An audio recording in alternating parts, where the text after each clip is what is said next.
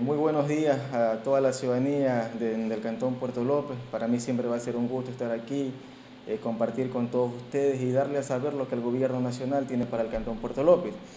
Y esta, y es una oportunidad muy importante de hacerle la cordial este, invitación a toda la ciudadanía del Cantón Puerto López para este viernes 27, la inauguración de la subestación que está ubicada en la ciudad de Los Álamos, diagonal al gobierno municipal del Cantón Puerto López. Por ende, esta subestación tiene muchos fines, muchos beneficios, la cual aportará mucho al desarrollo socioeconómico, tanto pesquero, tanto turístico y tanto las futuras industrias que se puedan presentar acá en el Cantón Puerto López a través de las inversiones.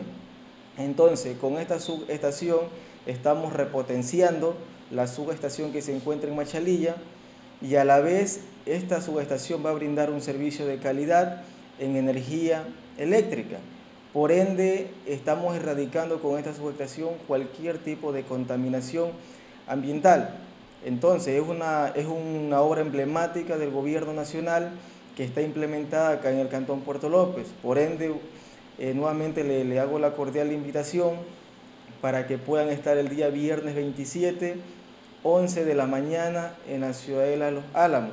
Esperemos tener el respaldo total de la ciudadanía del Cantón Puerto López, de igual manera con las parroquias y sus comunidades. Me han confirmado que va a estar la vicepresidenta de la República del Ecuador y por ende también va a estar el gobernador de la provincia de Manabí.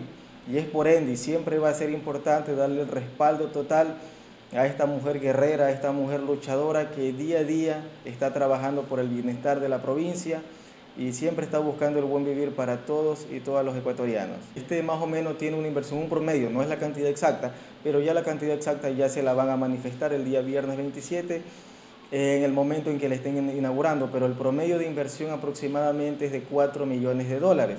4 millones de dólares que vienen exclusivamente para el Cantón Puerto López y a beneficio de todas y toda la ciudadanía. Entonces, la, este, la cobertura, eso es algo muy importante porque con esta subestación, vuelvo y repito, estamos repotenciando la subestación que está en Machalilla y por ende a todo el Cantón Puerto López y sus parroquias.